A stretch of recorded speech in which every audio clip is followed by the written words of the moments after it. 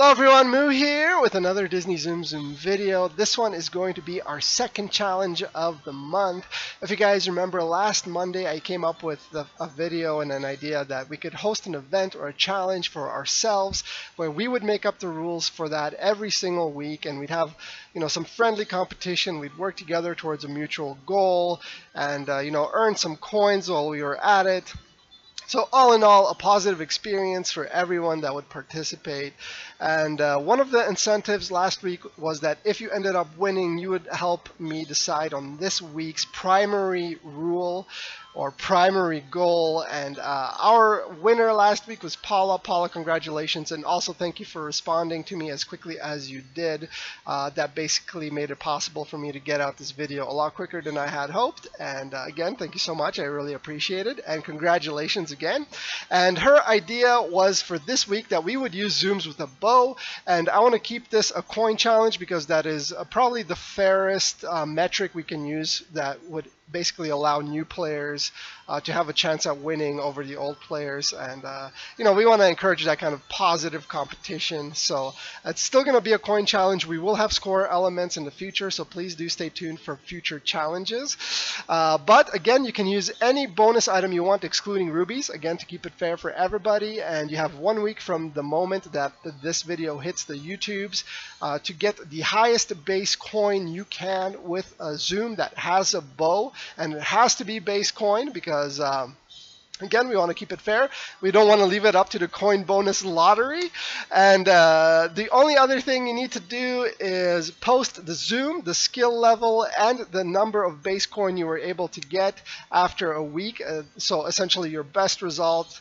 And uh, again, this is with the Tsum with the bow. And to help you guys out, I put together a little list here. Those are all the Tsums that I think uh, fall under the bow category. There may be more. If there are more, please do let me know. And uh, please also mention that in the comment section for those that may not have all these Tsums and uh, you know could use a little bit extra assistance or help uh, with the Tsums that they have in their arsenal. Uh, but I'm not going to give you guys any hints on which one I think is the best coin earner because Again, I only get three shots at this. You guys get an entire week. So uh, any insider information I may have, I'm going to keep to myself for this challenge. I want to have uh, a good entry, you know, a good chance of winning. And uh, what is going to be the prize for winning this week? I was thinking you guys could decide on my new hairstyle when I do get my haircut in a week or so. Uh, but I figured that would be a really, really bad idea. Uh, leaving such life-changing things to the internet, it's not going to end well. So we will stick with the original uh, reward. If you guys win this week's challenge, you do get to decide on next week's primary rule. And uh, hopefully that's incentive enough. I do hope you guys participate. And uh, my entry in this, like last week, is going to be with Jessie. I will play her three times, and the the game that has the highest base coin will be my entry for this challenge. So let's get right into the gameplay. I'll get rid of this uh, zoom window real quick. Let's see what we can get here. Hopefully I can uh, enter a fairly competitive score or base coin amount, but who knows? I'm at the mercy of the game. I only get three shots, so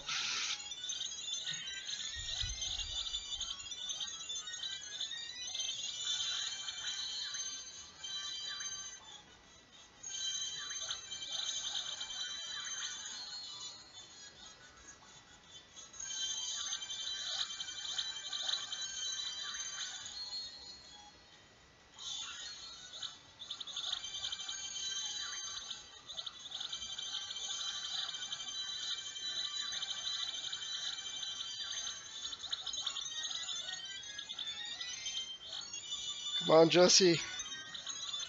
You need to start appearing on screen.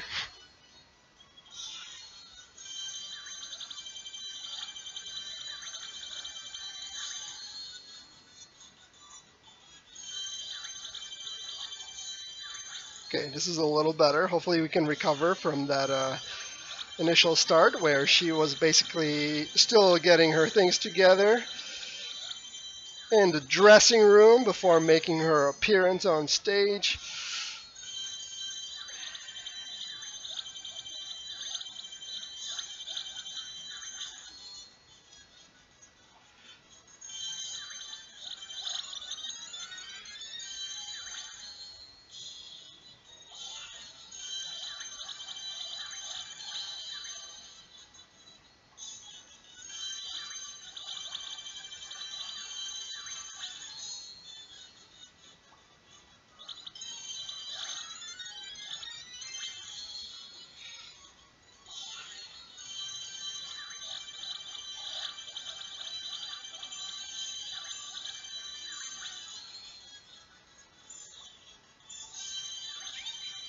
So our first attempt was 2,802 coin. Uh, not a bad start. Let's see if we can bump that up to about 3,400. That would be uh, ideal with Jessie. Uh, so game two. Let's see what we can do here. Come on, Jessie. You got to show up on screen. I'm counting on you here.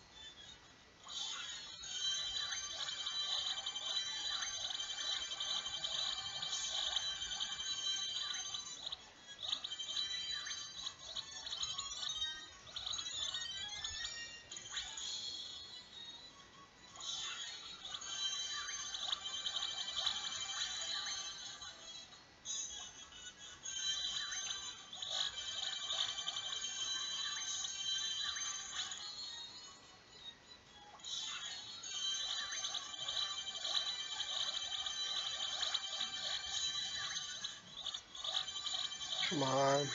Doesn't help when your swipes aren't registering. And you have to go over the same line of Tsums three or four times. Uh, but we still have one more shot at this. Hopefully we can break that 3,000 coin mark. That would be a really good result uh, based on just three games. Come on, get into fever time. Oh, good.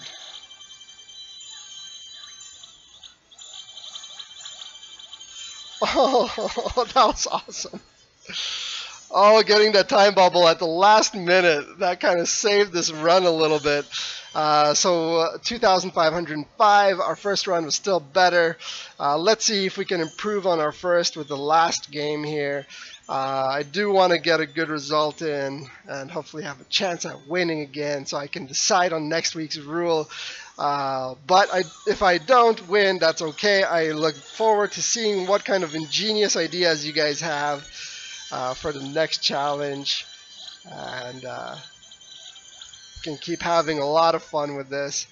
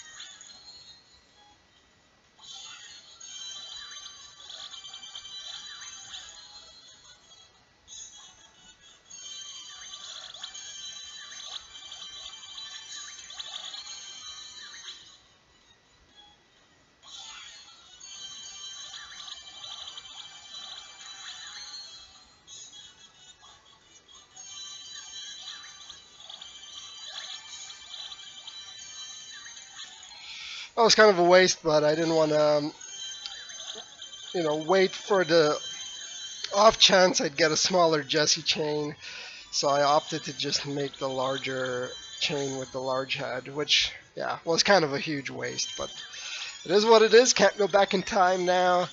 Let's see if we can recover a little bit.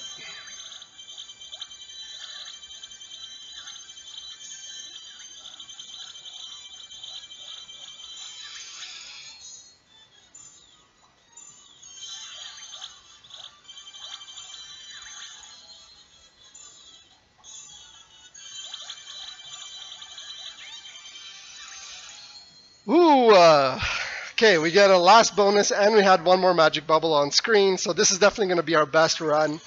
And, uh, oh, and she picked the Tsum that had the largest number on screen. That almost never happens. 3,093 coin. Well, that is my entry for this week's event. And as a special bonus for watching up to this point, which is about 11 minutes, uh, if you do decide to use Jessie, and there's one little tip I can give you. It uh, appears to me that uh, as her animation for the circle keeps expanding, there's a point near the end where it no longer expands past its maximum point, but the timer still is there. So if you can essentially release the skill like a split second before it reaches its the end of its animation time. You're not going to miss out on the number of Tsums it clears, but you will save that split second, which might help you uh, get off an extra skill or two near the end of the game, which is going to make a big difference uh, in your coin results. So that is my tip for Jessie, guys.